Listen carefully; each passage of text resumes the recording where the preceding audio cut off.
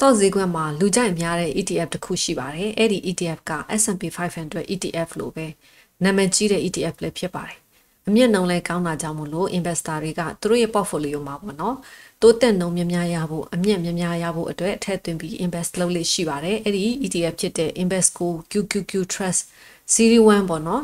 QQQ ETF အကြောင်းကိုဒီဗီဒီယိုထဲမှာအနည်းငယ်ပြောပြပေးချင်ပါတယ်မင်္ဂလာပါ Go Life Investing Channel ကနေကြိုဆိုလိုက်ပါရစေ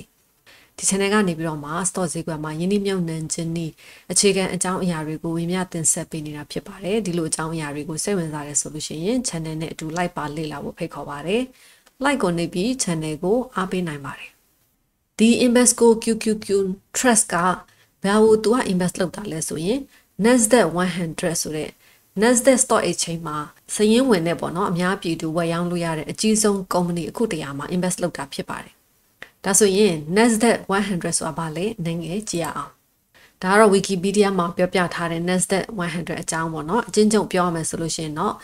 Nasdaq 100ဆိုတာကတော့ Nasdaq Stock Exchange မှာစည်ရင်းဝင်ထားတဲ့ကုမ္ပဏီအကြီးဆုံးကုမ္ပဏီအခုတရာရဲ့ stock တွေမှာ invest လုပ်တဲ့ index ပေါ့နော်တိုင်းတာတဲ့ index ဖြစ်ပါတယ် Nasdaq Stock Exchange မှာကကုမ္ပဏီတွေအများကြီးရပေါ့နော်ထောင်ချီလောက်ရှိတယ်တိုးတော်လည်းပဲဒီ Nasdaq 100ကတော့ အကြီးဆုံးကုမ္ပဏီအခု100ကိုပဲအဓိကတိုင်းတာတယ်။နောက်တစ်ခုတတိထားမှာကတော့ဒီ Nasdaq 100ထဲမှာ financial ဆိုတဲ့ band တွေအာမခံကုမ္ပဏီတွေစတယ်ပေါ့နော်အာ stock တွေလုံးဝမပါဘူး Nasdaq Stock Exchange ကသူကဤပညာနဲ့ပတ်သက်တဲ့ပေါ့နော်လုပ်ငန်းတွေဒါ stock တွေအများစုစိတ်ရင်းဝင်တဲ့နေရာဖြစ်ပါတယ် ဒီတော့ market cap အကြီးဆုံးဖြစ်တဲ့ stock တွေ Nasdaq 100မှာပါတဲ့ stock တွေကလေဒါဟာတိုးတက်နှုံမြင့်နေတဲ့ဤပညာလုပ်ငန်းနဲ့ဆိုင်တဲ့ပေါ့နော်ကုမ္ပဏီကြီးတွေဖြစ်ပါတယ်ဟို Apple တို့ Microsoft တို့ Amazon တို့လိုကုမ္ပဏီတွေဖြစ်ပါတယ်ဒီ Nasdaq 100ကို10နှစ်ကာလအတွင်းမှာဘလောက်ပေါ့နော်အမြတ်ရနိုင်ခဲ့တယ်လဲလို့ကြည့်တယ်ဆိုလို့ရှိရင်သူက 21.3ရာခိုင်နှုန်းပြန်မြရတာကိုတွေ့ရပါတယ်စုစုပေါင်းအမြတ်ဆိုရင်984.9ရာခိုင်နှုန်းတော့မှအမြတ်ရတာကိုတွေ့ရပါတယ်မနစ်ကတနစ်စာအတွက်မှာပဲဆိုရင်35.8ရာခိုင်နှုန်းဈေးတက်ထားပါတယ်9နှစ်စာအတွက်ပေါ့နော်သူ့ရဲ့ပြန်မြအမြတ်နှုန်းကိုကြည့်တယ်ဆိုလို့ရှိရင်19.3ရာခိုင်နှုန်းရှိပါတယ်ဒီအမြတ်နှုန်းကအလွန်ပဲများပြားတယ်လို့ဆိုနိုင်ပါတယ်။ဘာကြောင့်လဲဆိုတော့ S&P 500 ကဆိုလို့ရှိရင်သူ့ရဲ့အမြတ်နှုန်းကသူက10ရာခိုင်နှုန်းဝန်းကျင်လောက်ပဲရှိတယ်အခုဒီ Nasdaq 100ကကြတော့21ရာခိုင်နှုန်းတော့မှရှိတယ်ဆိုတော့တော်တော်ကိုများတဲ့သဘောဖြစ်ပါတယ်ဒါကြောင့်လေ investor တွေကသူတို့ရဲ့ပေါ့နော်ယင်းနှမြုပ်နှံမှု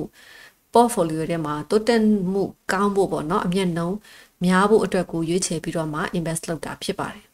ဒီအမြတ်နှုန်းကပြောရရမယ်ဆိုလို့ရှိရင်တော့တချို့ပေါ့နော်ကုမ္ပဏီခေါင်းတွေရဲ့ တခုချင်းစီရဲ့အမျက်နှုံလောက်နေပါလောက်ကိုကောင်းတာကိုတွေ့ရပါတယ်တချို့ stock တစ်ခုချင်းစီရွေးမယ်ဆိုလို့ရှိရင်ဒီလောက်ကိုမှအမြတ်မရတယ်ပေါ့နော်ကုမ္ပဏီတွေကအများအပြားပဲရှိပါတယ်ဒီ Nasdaq 100ကသူ့ထဲမှာပေါ့နော်ဒီကုမ္ပဏီတွေကိုထည့်သွင်းပြီးတော့မှပါဝင်ဖို့ဆိုလို့ရှိရင်လွယ်လွယ်နဲ့ပါလို့မရဘူးပေါ့နော်ဟိုရွေးချယ်တဲ့ဒါစီးမြင့်နေရှိတယ် stock တစ်ခုဟာဒီ Nasdaq 100ထဲမှာပါဖို့ဆိုလို့ရှိရင် Nasdaq Stock Exchange မှာစည်ရင်းသွင်းထားတဲ့ company stock ဖြစ်ရမယ်။ နောက်ပြီးတော့သူကအများပြည်သူကိုဝန်ရောင်းနိုင်ဖို့အတွက်ပေါ့နော်အရောင်းချပေးတဲ့တက်တန်ဟာအနည်းဆုံးပေါ့နော်3လရှိရမယ်နောက်ပြီးတော့နေ့စဉ်နေ့တိုင်းအဲ့ဒီ stock ကိုရောင်းနေဝယ်တဲ့အရေးအတွက်ဟာ2သိန်းပေါ့နော် share အရေးအတွက်2သိန်းအနည်းဆုံးရှိရမယ်နောက်ပြီးတော့ဟို3လတစ်ခါတစ်နှစ်တစ်ကြိမ် report လုပ်တယ်ပေါ့နော်ကုမ္ပဏီရဲ့ဒီအစီရင်ခံစာတွေငွေရေးကြေးရေးအခြေအနေတွေကလည်းကောင်းတာတွေဖြစ်ရမယ် နောက်ပြီးတော့ဒီကုမ္ပဏီဟာ bankruptcy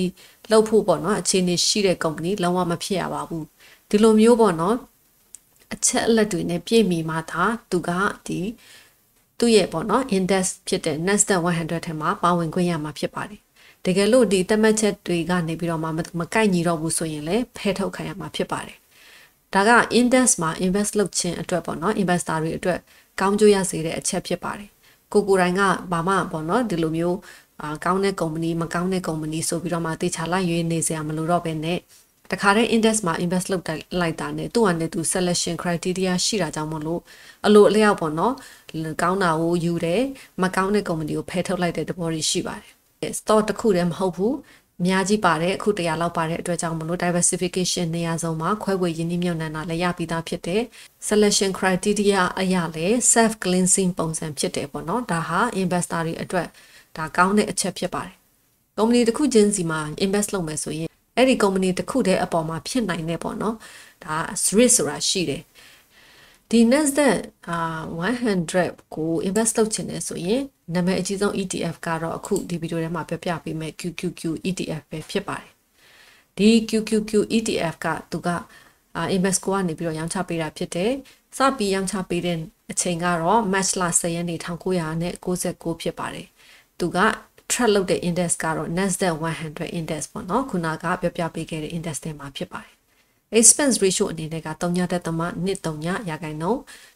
ပေးရမှာဖြစ်ပါတယ်ဒေါ်လာ1000 invest လုပ်ရင်သူက20ဒေါ်လာပေးရမယ်ပေါ့နော်ဒီ20ဒေါ်လာကိုတီးတန့်အနေနဲ့ပေးရတာမဟုတ်ပဲねဒီကိုဝယ်လိုက်တဲ့ stock ဈေးနှုန်းနဲ့မှာသူကဒါထည့်ပေါင်းပြီးတော့မှကြားတင်ပေးတာဖြစ်ပါတယ်ကိုအနေနဲ့ကတော့မတိမတာဘူးပေါ့နော်တခါတည်းပဲဒီအတိုင်းပဲဝယ်လိုက်ရင်ကိုရပါပြီ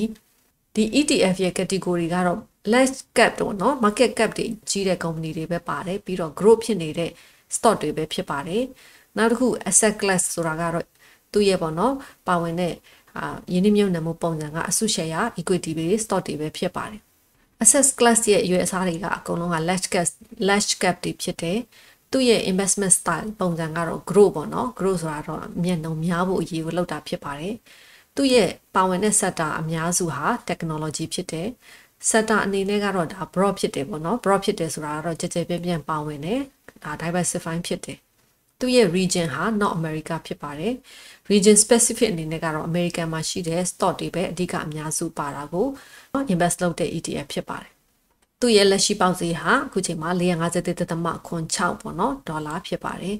expense ratio အနေနဲ့ကတော့3.23ဆိုတော့သူနည်းနည်းတော့များတယ်ပေါ့နော်ဥမာ S&P 500ကို invest လုပ်တဲ့ VOO ETF ဆိုလို့ရှိရင်3.33ရာခိုင်နှုန်းပဲရှိတယ်သို့တော်လည်းပဲဒီ ETF ဟာ grow ရဖို့အတွက်ကိုသူကအဓိက invest လုပ်တဲ့အတွက်ကြောင့်မလို့တလောက်များတာဖြစ်ပါတယ် QQQ အနေနဲ့ dividend ဆိုတဲ့အမြတ်ခွဲဝေပေးခြင်းလည်းရှိပါတယ် သူ့မှာပါဝင်တဲ့ stock ကအခု100လောက်ရှိတယ်ဆိုရင်အဲ့ဒီထဲက stock တချို့ဟာ dividend ပေးတယ်အဲ့ဒီပေးတာကမှအားလုံးပြန်စုပေါင်းပြီးတော့မှပြန်ပြီးတော့မှ invest လုပ်ထားတဲ့ share holder တွေကိုပြန်ပေးတာဖြစ်ပါတယ်နောက်ဆုံးပေးခဲ့တဲ့ dividend ဟာအစု share တစ်ဆောင်အတွက်ကို3.5ခွန်ဒေါ်လာပေးပါတယ် annual dividend rate ပေါ့နော်တစ်နှစ်ကိုတုံးပေးတယ်ပေါ့နော် dividend နှုန်းက1.64ဒေါ်လာဖြစ်ပါတယ် ဒီပထမဒီ3.5ခွန်ဆိုတာကတော့ဒါ3လတစ်ကြိမ်ပေးတဲ့ဟာပေါ့နော်အာရာခိုင်နှုန်းအနေနဲ့ဆိုရင်တော့3.58ရာခိုင်နှုန်း dividend ရပါတယ်ဒီ ETF ကအဓိက grow ရဖို့အတွက် invest လုပ်တဲ့ ETF ဖြစ်ပါတယ်သူက dividend ကိုဦးစားပေးတဲ့ ETF မဟုတ်ဘူးပေါ့နော်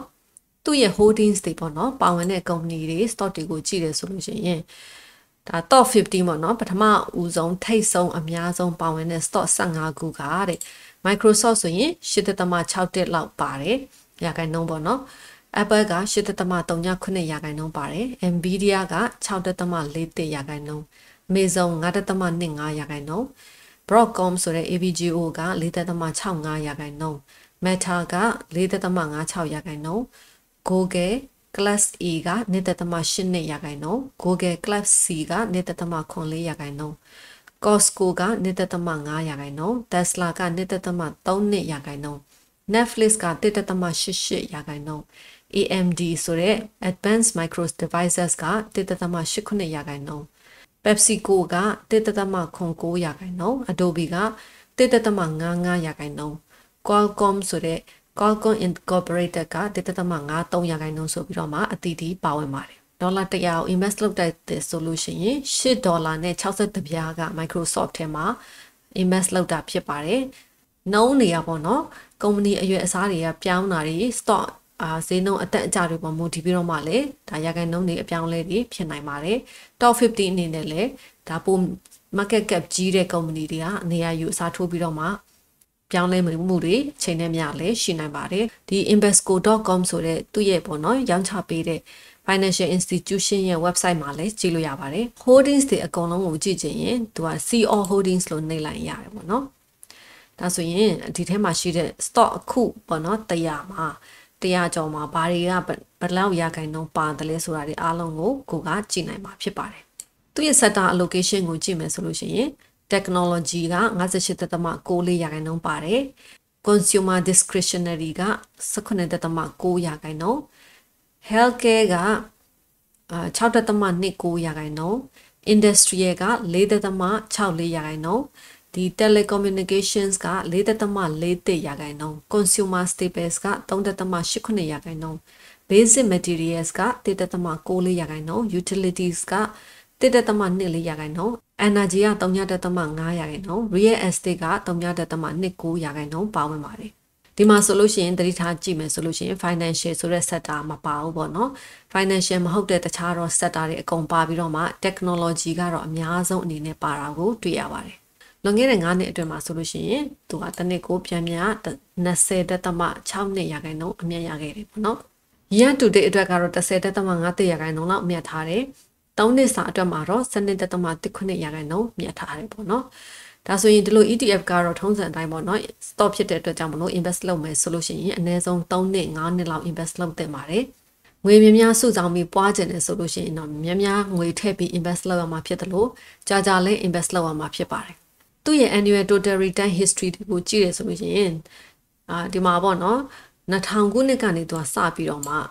ရှုံးတဲ့နှစ်တွေမရှိဘူးမဟုတ်ဘူးရှိတယ်တိုးတော်လည်းပဲမြက်တဲ့နှစ်တွေကပုံများတယ်ပေါ့နော်ဒီတော့ကိုကခြုံပြီးတော့မှ10နှစ်လောက်9နှစ်လောက် invest လုပ်တယ်လို့ဆိုလို့ရှိရင်ဒါမြက်ဖို့ပဲပုံများတယ်ပေါ့ဒီနေရာမှာဈေးကျတဲ့နှစ်တွေကိုကြည့်တဲ့အခါမှာဈေးကျတာတော်တော်လေးကိုကျတာတွေ့ရတယ်39.39ရာခိုင်နှုန်းလောက်ကျခဲ့တာရှိတယ်ဈေးကျတာတော့များတယ် Nasdaq ဒီ QQQ ETF လို့ group ETF တွေကများတော့ဖြစ်ကတော့သူကအမြတ်လဲပိုများများပေးနိုင်တယ်လို့ဈေးကျတဲ့ခါမှာလဲပိုကျတတ်တဲ့သဘောရှိတယ် ဒါကိုဘာနဲ့တိုင်းတာတယ်လဲဆိုရင် beta ဆိုတဲ့ပေါ့နော်အာသူ့ရဲ့တိုင်းတာတဲ့ဟာတစ်ခုနဲ့တိုင်းတာပါတယ် beta ကသူက S&P 500ဆိုရင်တစ်ပေါ့နော်သူက S&P 500ကတစ် S&P 500နဲ့ national ဆိုလို့ရှိရင်ဒီ QQQ ကသူ့ရဲ့ beta 1.18ရှိပါတယ် S&P 500ကတစ်ချက်ဈေးအတက်အကျဖြစ်ရင်သူကတစ်ချက်နဲ့မှ18ပြားလောက်ပေါ့နော်ဈေးအတက်အကျဖြစ်တယ် QQQ အနေနဲ့ကတော့ invest လုပ်တင်တယ်သို့တော်လည်းပဲ expense ratio ကနည်းနည်းများနေတယ်ဆိုလို့ရှိရင်တခြားရွေးချယ်စရာရှိတဲ့ QQQM ဆိုတဲ့ ETF ရှိပါတယ်အဲ့ဒီ QQQM ETF ကဒါ QQQ နဲ့တပုံစံနဲ့ပဲအကုန်လုံးအတူတူပဲဖြစ်တယ်သို့တော်လည်းပဲသူက expense ratio က3.35ရာခိုင်နှုန်းပဲရှိတယ်